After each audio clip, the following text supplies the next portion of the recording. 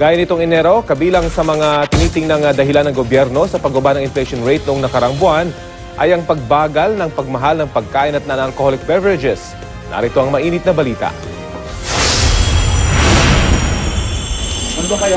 Pinakamababa sa nakalipas na 10 buwan ang 4.4% na inflation rate o yung bilis na pagtaas ng presyo ng mga bilihin at serbisyo nitong Enero.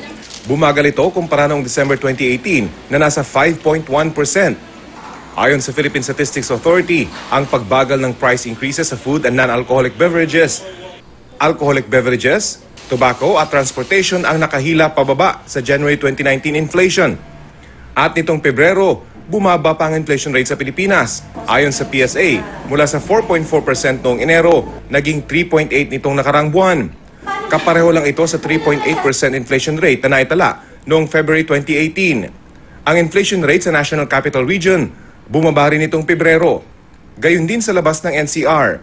Ang pagbagal ng pagmahal ng pagkain at non-alcoholic beverages ang isa pa rin sa mga tinitinang dahilan ng PSA sa pagbaba pa ng inflation rate.